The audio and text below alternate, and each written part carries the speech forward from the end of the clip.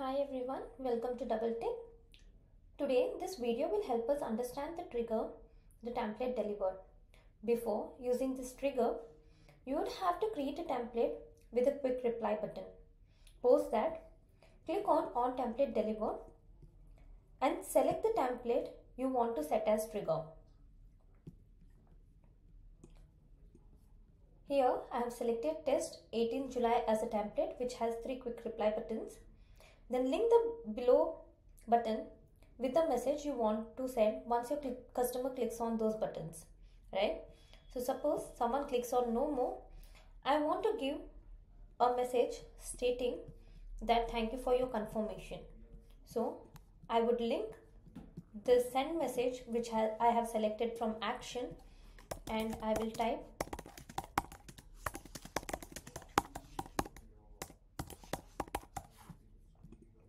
and similarly if someone clicks on I am interested I want to send a template.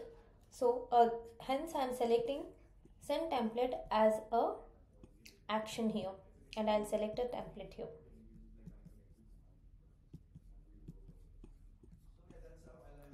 Post this. To activate this bot you would have to on the toggle from above. You would have to save the bot. And also you can rename the bot for better bifurcation.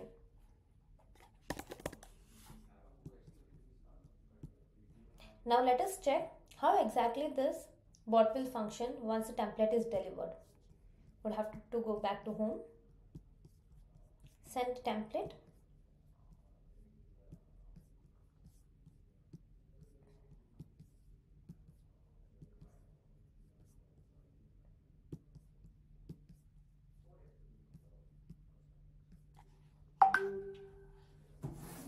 As soon as this template is delivered, if uh, end customer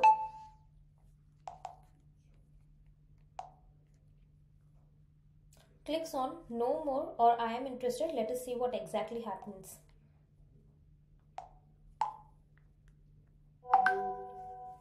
So as soon as the customer clicked on no more, we received a message as thank you for your confirmation or if the customer clicks on I am interested, receive the particular template we have set. Now, if you go and do any changes on your bot after sending the template, then this particular bot that you have already created won't work for the customers for whom the template has been delivered before the changes. Hence, please make sure that you're not doing any changes post creating a bot and sending the template to your customer. Thank you.